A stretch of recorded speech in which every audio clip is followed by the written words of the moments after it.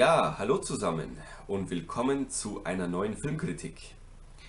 Heute geht es um den Film The Loved Ones aus dem Jahre 2009. Ja, ich habe hier wie üblich meine Liste mit meinen Stichpunkten und ja, der Film ist eine Mischung aus ja, Coming-of-Age-Komödie und Torture-Porn bzw. Terrorfilm. Also eine sehr interessante Mixtur, aber auch eine sehr gute.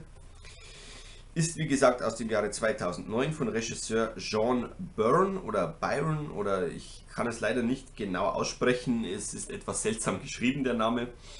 Und ja, das Ganze kommt aus Australien und ja, in meinen Augen ein echter Geheimtipp und äh, der Film hat leider viel zu wenig Aufmerksamkeit in meinen Augen.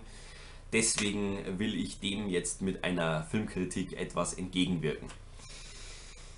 Ja, also erstmal zur Story. Es geht um einen Jugendlichen, der bei einem Autounfall seinen Vater verliert.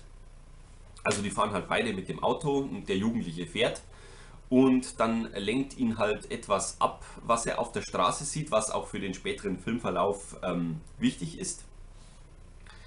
Und ja, dann baut er halt diesen Unfall und sein Vater verstirbt und ja, er flüchtet sich dann beziehungsweise ja, versinkt immer mehr in Selbstmitleid und in Trauer. Ähm, ja, das äußert sich dann auch in selbstverletzendem Verhalten und ähm, dann kommt es dazu, dass ihn eine Mitschülerin fragt in seiner Schule, ob er denn mit ihr nicht zum Abschlussball gehen will. Ja, und da er eine Freundin hat, verneint er natürlich diese Frage und ja, diese Frau ist dann sehr, sehr ungehalten von dieser Absage und äh, das steigert sich dann halt immer mehr aber ich will jetzt nicht näher auf das Ganze eingehen. Ihr werdet euch schon denken können, äh, wie das Ganze dann weitergeht. ähm, ja, ähm, ich komme jetzt zu meinen Positiv- und Negativpunkten. Also was hat mir an dem Film gefallen? Mir hat auf jeden Fall sehr zugesagt, dass der Film extrem gut gespielt ist. Also alleine die ähm, zwei Psychopathen, gespielt von John Brampton und Robin McLeavy, spielen ihre äh, Rolle absolut genial und man nimmt diesen Psychopathen einfach ihren Wahn ab. Also ich würde diese Schauspieler gerne mal real treffen, ob die, äh, also wie die real so drauf sind, denn ich, wie gesagt, ich nehme ihnen ihre Rolle voll ab. Aber auch die ganzen anderen Charaktere spielen sehr gut und äh, verleihen ihren Figuren Kraft und Persönlichkeit. Also wirklich tolle Schauspieler, muss ich sagen. Fetter Pluspunkt. Dann auch äh, gibt es sehr interessante, gute und konsequente Twists. Aber nicht nur am Ende des Films, sondern immer wieder so im Laufe des Films mal ein Twist eingestreut, immer mal wieder. Ähm, und es sind jetzt äh, keine Twists, äh, wo man irgendwie da sitzt und, ach so, okay, nett, sondern äh, es sind wirklich äh, Twists, wo einem die Kinnlade runterfällt und denkt, what the fuck?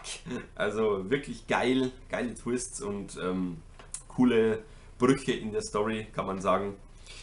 Ja, dann ähm, kommt noch dazu, dass äh, die Foltermethoden sehr kreativ sind in diesem Film. Also es kommen Foltermethoden vor, die ich so eigentlich in noch keinem anderen Film gesehen habe, muss ich sagen. Also hier wirklich sehr kreativ. Ähm, sie sind jetzt vielleicht nicht so ultra blutig, wie man es vielleicht von so ganz extremen und kontroversen Filmen her kennt, aber es sind schon wirklich schon sehr, sehr deftige und auch kranke Einfälle, die man da serviert bekommt. Also muss man schon sagen. Allgemein ist der Film auch recht äh, geisteskrank und psychisch gestört, also hat mich äh, stellenweise, nur stellenweise auch etwas an einen Rob Zombie-Film erinnert. Ähm, aber ja, das ist jetzt nur wirklich, äh, wirklich nur stellenweise.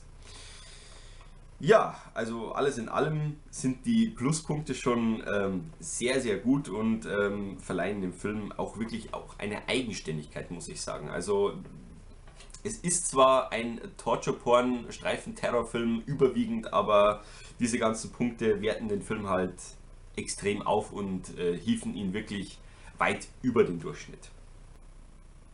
Aber so gut wie jeder Film hat natürlich auch The Love It Once ein paar Negativpunkte, die mich jetzt allerdings nicht sonderlich gestört haben, muss ich sagen. Also ich habe mir jetzt hier eigentlich nur zwei notiert und das ist wirklich Meckern auf hohem Niveau. Also zum einen mal fand ich es etwas schade, dass die Psychopathen ähm, keine Backstory erhalten haben. Also es wird nicht wirklich aufgeklärt, warum diese Psychopathen denn so geworden sind, wie sie letztendlich sind. Es werden Andeutungen gegeben, aber mehr auch nicht. Äh, es wird auch ein inzestuöses äh, Verhältnis zwischen äh, Vater und Tochter angedeutet, also auch schon recht grenzwertige Thematiken in diesem Film. Ähm, ja, das war, wie, wie gesagt, leider etwas schade. Ich hätte mir hier schon etwas mehr Aufklärung gewünscht, denn ich fand das schon recht interessant alles.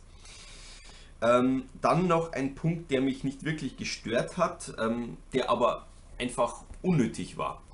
Also es gab äh, eine Nebenstory, also einen Nebenhandlungsstrang, den es so nicht wirklich gebraucht hätte. Also da sieht man ähm, einen Kumpel von äh, unserem Hauptprotagonisten, der halt ähm, mit einer, der sich mit einer Frau trifft und halt zu diesem in der Story erwähnten Abschlussball geht und sich dann halt an die ranmacht, dann haben sie Sex und äh, kiffen miteinander und so weiter. Äh, es ergeben sich auch ein paar lustige Situationen und so, deswegen auch die, äh, das Genre Coming of Age. Äh, ja, es reißt einen nicht wirklich aus dem Film raus, hätte es auch nicht wirklich gebraucht.